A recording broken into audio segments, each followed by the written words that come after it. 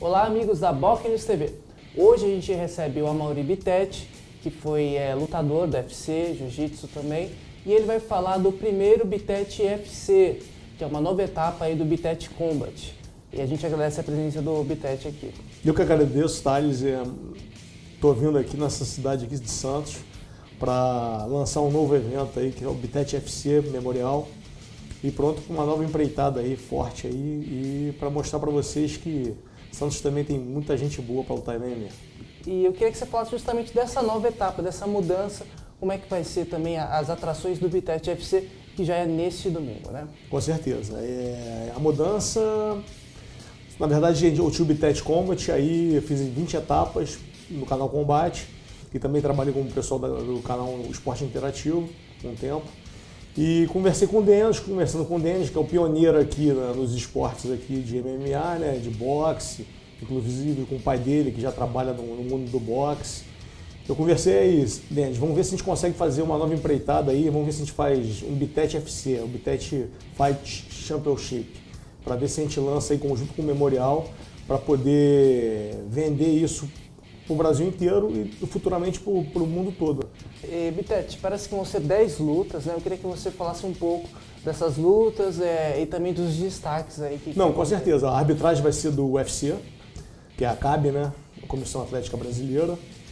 E as lutas serão entre o Gustavo Ferrugem, o Gustavo e o Ferrugem. Né? O Gustavo, é, na verdade, é irmão do Besouro, que foi campeão do TUF e está super preparado para essa luta. E o Ferrugem foi lutador do Bitete, Combat no passado, grandes vitórias também em cima de nomes de renomes aí que já, já foram para o UFC, já foram para Bellator, Pride, etc.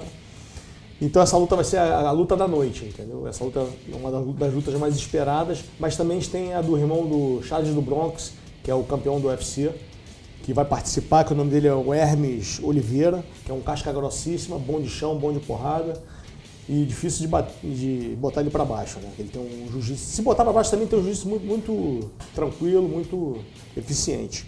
Mas na verdade o Bruno Mesquita, que é o adversário, está pronto para tudo e para todos, né? Vai ser muito legal. E Bitete, agora eu queria que você fizesse um convite aí pro pessoal para ir à pesagem, que é no sábado, claro. no Pátio Poranga, e no domingo no Rebouças o grande dia do Biteste FC. Com certeza. Eu convido aí o pessoal de Santos, que é muito mais adrenalina, é muito mais ação. Vocês vão ver que é pegada lá na hora. Porque na televisão é uma coisa, mas quando vocês estão ao vivo, vendo aquilo acontecer, é uma coisa que não dá nem para descrever o que vai acontecer.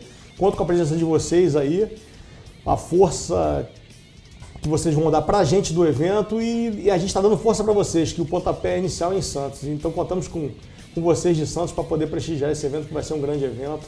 Apesar de vai ser no Pátio Poranga, no sábado, a partir das 13 horas. Um Papai Noel lá fazendo uma, uma sombrinha lá com os lutadores, vai ser muito legal. Então, lembrando a todos que o Bitet FC ocorre neste domingo, dia 13, a partir das 7 horas da noite, a pesagem no sábado, como o Bitet explicou. É, e os ingressos variam de 20 a 40 reais. Todas as informações onde vocês podem comprar estão aqui na descrição do vídeo. É, meia entrada. E 100 reais e 50 reais o VIP, né? É isso. Preço na faixa para todo mundo assistir. E Conto com vocês. A gente agradece, a Boca News TV agradece a sua presença, Maurício. Eu que agradeço a vocês e parabéns pelo trabalho de vocês. Então a gente agradece, muito obrigado e até a próxima.